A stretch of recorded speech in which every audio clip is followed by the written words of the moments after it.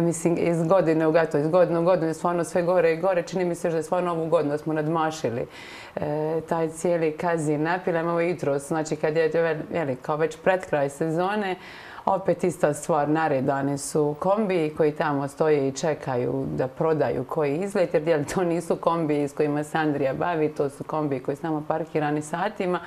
Opet se autobusi nekako moraju, e, mislim, glupo reći naguravati, je opet zaustavljati se zaustavljati se na sve ceste da bi uopće, da bi se neko eto udostojio pomaknuti malo da bi oni mogli doći na opet, jel ponavljamo, na mjesto koje je najavljeno njima, koje je plaćeno za njihov dolazak ali nitko tamo apsolutno ne reagira.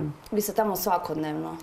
Pa ja sam tamo non stop, što ulozi, mislim tamo sam puno više ulozi eh, lokalnog vodiča nego, nego prijevoza, pa onda gledam i s ove druge strane kako to izgleda. Mislim da smo u fazu da vi više ne možete doslovno, ne možete ostaviti eh, goste trenutak same na pilama, ne znam, poču uzeti karte, karte grada ili napuni bocu vode da barem dvojica im ne priđu i ne nude svoje panorame, uvjeravaju kako je to bolje od žičare.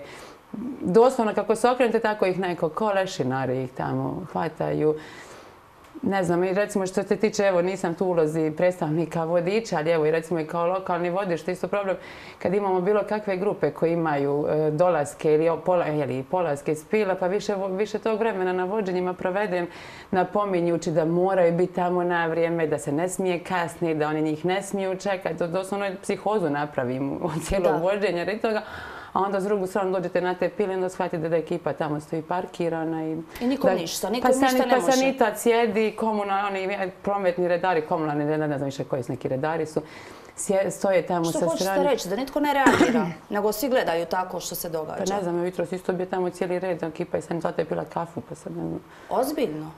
Pa mislim, baš se čudite.